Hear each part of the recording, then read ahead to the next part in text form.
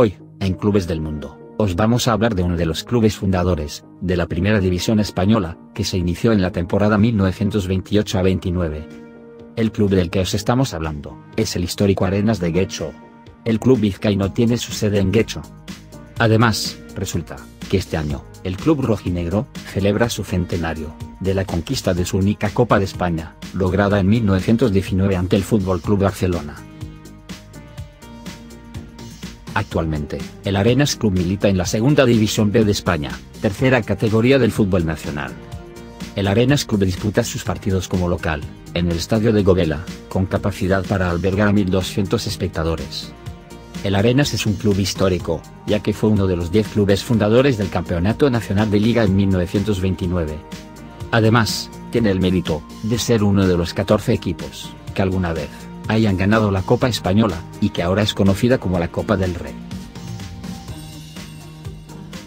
Alcanzado también, tres subcampeonatos de la Copa en 1917, 1925 y 1927. Ha disputado un total de siete temporadas en la primera división, que, además, fueron las siete primeras temporadas de la historia, desde 1928 hasta 1935, año en que descendió a segunda división. Desde entonces no ha vuelto a primera nos remontamos a los inicios de la historia del Arenas Club. El fútbol apareció en la zona residencial de la burguesía bilbaína de Guecho, durante la primera década del siglo XX. Fue fundado en 1909, y registrado en su primera junta del 17 de mayo de 1910, bajo la denominación de Arenas Fútbol Club. En 1912 se fusiona con el Algorta Fútbol Club. En 1917 disputa su primera final en la Copa de España. Su rival es el Real Madrid, empatando a cero el primer encuentro. En el partido de desempate, el Arenas cae por 1 a 2 en la prórroga ante los madridistas. En 1919, el Arenas repitió título de campeón regional, adelantándose a sus rivales del Athletic. Esa vez, fue campeón de Vizcaya, ya que los equipos guipuzcoanos, habían formado su propio campeonato, en semifinales de la Copa del Rey de Fútbol 1919, el Arena se deshizo del Racing de Madrid, y en la final se encontró con el Fútbol Club Barcelona.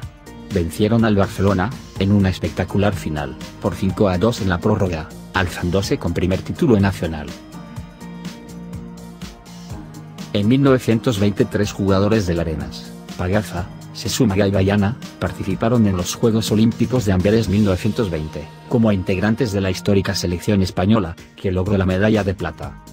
En 1925 y 1927, el Arenas, se proclama de nuevo, subcampeón de la Copa, al perder las finales contra el Barcelona, y el Real Club Unión Irún, respectivamente. El Arenas fue uno de los 10 equipos elegidos, para formar parte de la Primera División de España en 1928 a 29, en la recién creada Liga Española de Fútbol. Ese honor lo obtuvo, por sus cuatro finales de Copa alcanzadas, y por el título de Copa que había ganado en 1919. El club vizcaíno, logra permanecer siete temporadas seguidas en Primera División, su debut en Liga se produjo un 10 de febrero de 1929, ante el Athletic de Madrid, que le derrotó por 2 a 3. Su mejor clasificación, en Primera División, se produce en 1930, al quedar tercero. En 1935 no puede evitar el descenso a Segunda División. En la clasificación general de todos los tiempos en Primera División, con sus siete temporadas, el Arenas ocupa el puesto número 46, con 107 puntos obtenidos. Tras la temporada de su descenso, el Arenas cuajó una buena campaña en la segunda división de 1935 a 36. Rozó el ascenso, pero se le escapó en la última jornada de liga al perder frente al Murcia. En 1936 gana también su única Copa Vasca.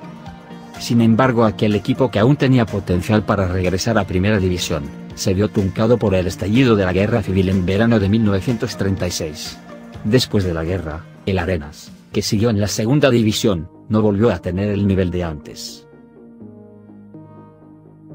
En 1944 descendió a Tercera División, sin que desde entonces haya regresado a la Segunda División, aunque en 1956 y 1960 estuvo a punto de hacerlo.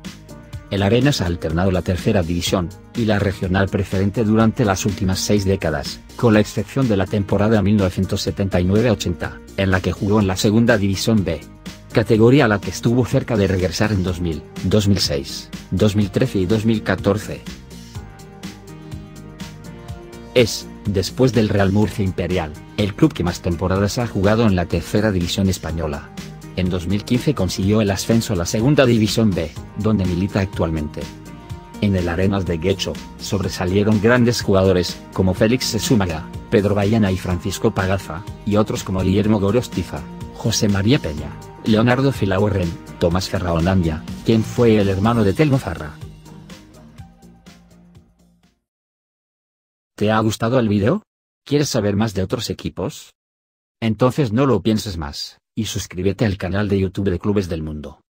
Publicamos actualizaciones constantes de videos y fichas de equipos de todo el planeta.